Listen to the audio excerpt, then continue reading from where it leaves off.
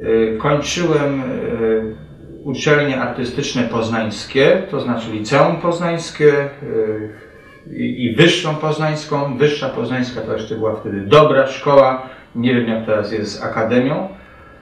Czyli należy przypuszczać, że jestem zawodowym mordercą, jeżeli chodzi o malarstwo. I też tak staram się problemy, które pojawiają się w mojej sztuce, rozwiązywać profesjonalnie. Y, Profesjonalnie to znaczy y, staram się odszukać siebie w tym, co robię.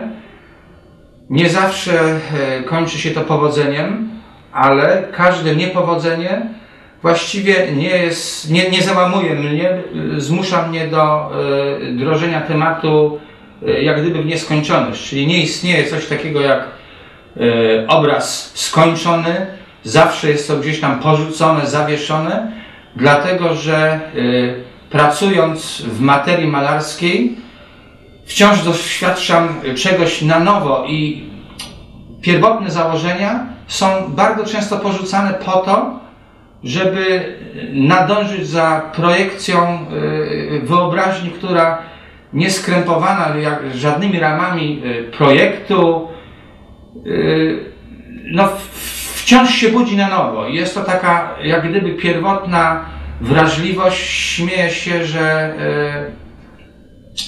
no, tego nie da się y, ani określić, y, ani ująć w jakieś ramy. W związku z tym wciąż błądzę, wciąż szukam, ale staram się być w tej wypowiedzi uczciwy.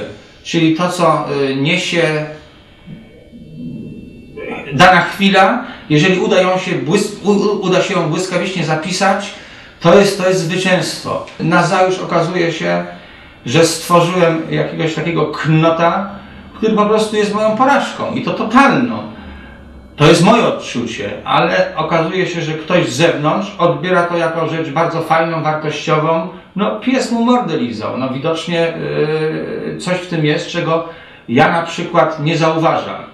Po wielu, wielu latach yy, zdarzało się, że nagle zobaczyłem na nowo ten obraz, który był dla mnie porażką wciąż y, babrzę się w tej materii malarskiej i, i jest to moje życie.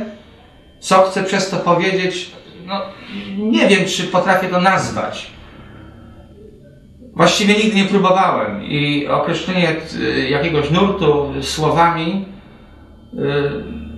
y, zawsze jest nieprecyzyjne i y, ułomne, albowiem słowo nie jest moim narzędziem pracy. Operuję pismem obrazkowym i cała prawda o, o mnie jest zawsze zawarta w tym. Jedna z ważniejszych rzeczy na tej mojej drodze nie do rozwoju artystycznego był kontakt z bardzo dobrymi pedagogami. Począwszy od liceum, to był yy, Łubowski, yy, Dybczyński. Bardzo yy, fajni ludzie.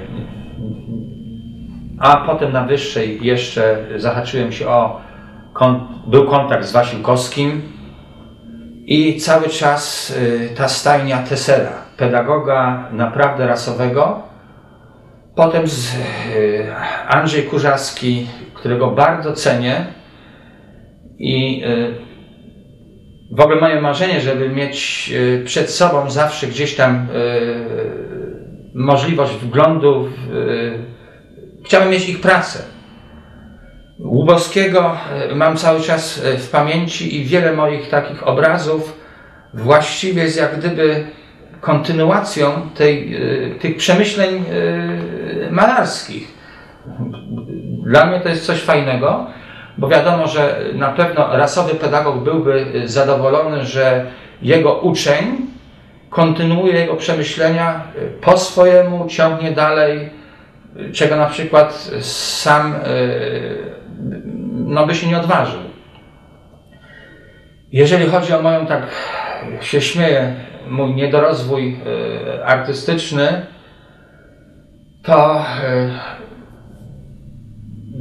no, jest to i udręka, i ekstaza, bo po prostu tym żyję. ktoś tam mówi, że jestem rasowym malarzem. No, y, sam bym siebie y, nie określił tym mianem. Mm, Śmieję się, że y, artystom nie wystarczy się urodzić, artystą trzeba być, y, a po to, żeby być, to, to, to y, trzeba mieć troszeczkę no, takiej odwagi cywilnej. Ja jej nie mam. Y, Dlatego też nie uczestniczę y, w tym takim ruchu artystycznym.